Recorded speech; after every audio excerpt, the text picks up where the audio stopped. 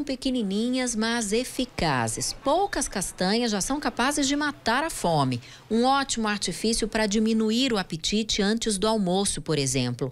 A Patrícia faz um mix. São três castanhas do Pará, com cinco amêndoas, ou então é, três nozes ou castanha de caju. Da categoria das oleaginosas, são do grupo de alimentos mais rico e nutritivo que existe, consideradas um superalimento. As mais consumidas são as nozes, o pistache, amendoim, castanha de caju, castanha do Pará e as amêndoas. Elas auxiliam na perda de peso e melhoram o funcionamento do intestino, mas não devem substituir as refeições. Ela é uma gordura muito boa, né? Uma gordura rica em ômega 3, que vai ajudar na imunidade, vai ajudar no, no é, é, proteção hepática, proteção cardíaca, mas temos que tomar cuidado para não ficar substituindo. Por quê? Porque por mais que ela é muito saudável, ela não substitui em relação à proteína, em relação aos outros minerais, uma refeição tradicional.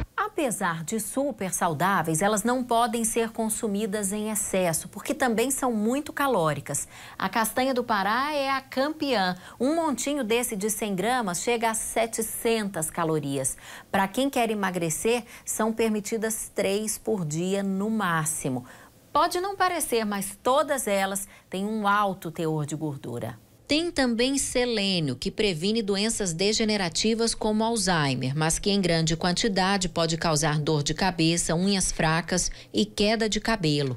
O amendoim também pode ser vilão. Ele tem substâncias tóxicas e cancerígenas, além de um alto potencial de provocar alergias. Enxaqueca, dermatite e problemas respiratórios são alguns dos sintomas. Lembrem do equilíbrio. Podem consumir, mas com equilíbrio. Ah, e lembrando, nunca deixem um pote de castanha do lado na hora que está com fome, porque a gente acaba comendo o pote de castanha inteiro.